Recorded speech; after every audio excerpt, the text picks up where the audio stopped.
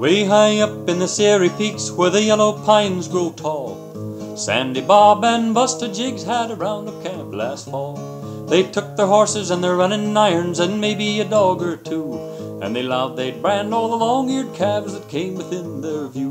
Well, many a long-eared dogie that didn't hush up by day had his long ears whittled and his old hide scorched in a most artistic way. Then one fine day said Buster Jiggs as he throwed his seago down, I'm tired of cow biography and allows I'm going to town.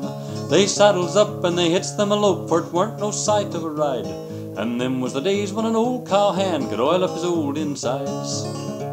They starts her out the Kentucky bar at the head of the whiskey row. And they winds her up at the depot house some forty drinks below.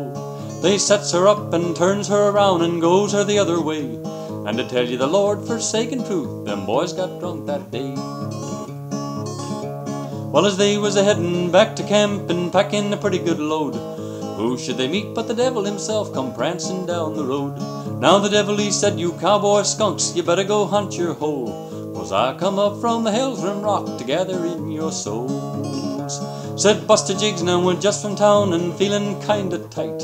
And you ain't gonna get no cowboy souls without some kind of a fight. So he punched a hole in his old throw rope and he slings it straight and true. And he roped the devil right around the horns, he takes his dallies true. Old Sandy Bob was a reata man with his rope all coiled up neat. But he shakes her out and he builds him a loop and he ropes the devil's hind feet. They threw him down on the desert ground while the irons was a getting hot. They corrupt and swallow forked his ears and branded him up a lot.